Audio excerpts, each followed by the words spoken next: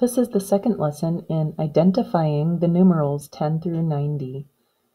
And the purpose is to teach the children the names of 10 through 90 in association with the symbols of the numerals.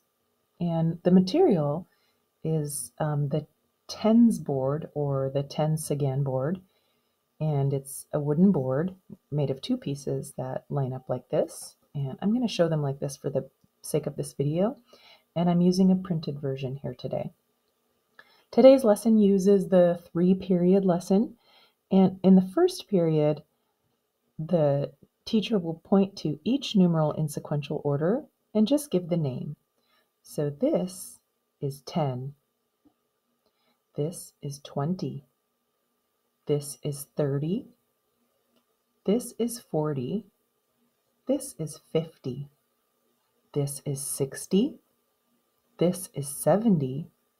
This is 80. This is 90.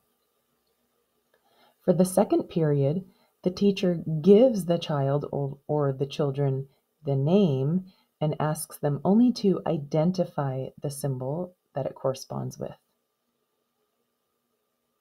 Can you find 30? Yes, that's 30. Can you show me 60? Yes, that's 60. Can you show me 10? Yes, that's 10. Can you show me 90? Yep, that's 90. Now, for the third period, the teacher points to numerals and asks for the name from the child or the children. What's this? Yes, that's 30. What's this number? Yes, that's 50. What's this? Yes, that's 10. And to end, you can end with a review. Today we learned 10, 20, 30, 40, 50, 60, 70, 80, and 90.